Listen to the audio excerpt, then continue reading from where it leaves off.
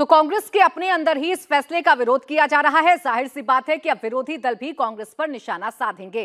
BJP ने कांग्रेस के इस फैसले पर हमला बोल दिया है। स्मृति ईरानी ने कहा कि कांग्रेस का राम विरोधी चेहरा सामने आ गया है। कांग्रेस पार्टी का प्रभु राम विरोधी चेहरा राष्ट्र के सम्मुख प्रस्तुत हो चुका है। यह आश्चर्य की बात नहीं कि सोनिया जी के नेतृत्व में जिस पार्टी ने कोर्ट में दस्तावेज़ दिया था कि भगवान राम का कोई अस्तित्व नहीं, उस कांग्रेस पार्टी के नेतृत्व ने पुण्य अयोध्या धाम में राम मंदिर में प्राण प्रतिष्ठा के आमंत्रण को ठुकराया। मैं इतना ही कहूँगी। कि इंडिया अलायंस ने सोनिया जी के नेतृत्व में, कांग्रेस के नेतृत्व में बार बार सनातन धर्म की उपेक्षा की, अपमानित किया। और अब इंडिया अलायंस के नेताओं द्वारा प्राण प्रतिष्ठा के पुण्य आमंत्रण को ठुकराना उनकी सनातन विरोधी सोच को दर्शाता है। अब कांग्रेस नेताओं को राम मंदिर का न्योता 21 दिसंबर को ही मिल गया था, लेकिन कांग्रेस का जवाब पूरे 20 दिन बाद आया। कांग्रेस ने इनविटेशन ठुकराने के लिए पूरे 20 दिन का समय लिया। 10 जनवरी को कांग्रेस ने राम मंदिर के लिए निमंत्रण को ठुकराया है। तो ऐसे में सवाल उठता है कि आखिर कांग्रेस ने इतना समय क्यों लिया? कांग्रेस का देरी से जवाब देने पर बीजेपी हमलावर है। बीजेपी सांसद मनोज तिवारी ने भी इसको लेकर सवाल उठाए। लोग कह रहे हैं कि देश और दुनिया, अयोध्या और भगवान श्री राम मय हो रहा है। लेकिन इसी बीच में अब खबर ये आ रही है कि कांग्रेस अध्यक्षा नहीं जा रही हैं। प्राण प्रतिष्ठा में मल्लिकार्जुन खड़गे नहीं जा रहे हैं, सोनिया गांधी नहीं जा रही हैं और अधीर रंजन चौधरी नहीं जा रहे उन्होंने कहा कि बीजेपी और आरएसएस का कार्यक्रम है। देखिए, वो अपने नहीं जाने के लिए जो बहाना लेना चाहे ले सकते हैं। लेकिन ये तो जन जन के हैं राम। शुभ उद्घाटन कौन किससे करवा रहे हैं न्यास? देश के प्रधानमंत्री जी से। जिनको दूसरी बार देश ने भारी बहुमत से चुना और तीसरी बार चुनने के लिए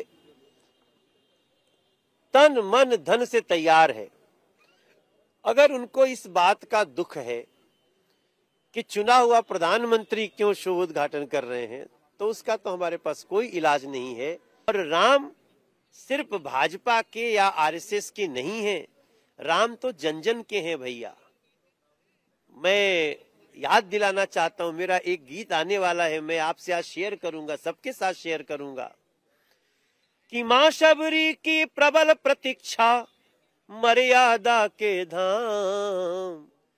जन जन के राम जन जन के राम। जन जन के राम जन जन के राम।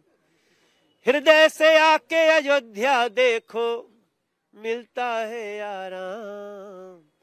जन जन के राम जन जन के राम। बीजेपी का एक एक नेता एक्शन में है। टारगेट पर कांग्रेस है। अनुराग ठाकुर ने भी कांग्रेस पर हमला बोला है। ये तो होना ही था। कांग्रेस ने कभी अपने सहयोगियों के माध्यम से सनातन धर्म को कुचलने की तो कभी सनातन धर्म को खत्म करने की बात कही तो कभी कांग्रेस ने हिंदू आतंकवाद की बात कही। ये कांग्रेस एक नहीं, अनेक बार हिंदुओं को नीचा दिखाने की बात तो कभी भगवान राम को काल्पनिक कहने की बात करती है। मैं इतना ही कहूँगा, आज कांग्रेस ने अगर प्राण प्रतिष्ठा की, समारोह की बाइकआउट किया है तो साफ़ दिखता है कि हिंदुस्तान की जनता भी आने वाले समय में इनका बाइकआउट ही करने वाली है। तो इस पर सिर्फ़ बीजेपी हमलावर नहीं है बल्कि संतों के भी निशाने पर कांग्रेस आ गई है। रामलला के मुख्य पुजारी आचार्य सत्येंद्र दास ने भी कांग्रेस के न्योता ठुकराने पर ज़बरदस्त हमला बोला है।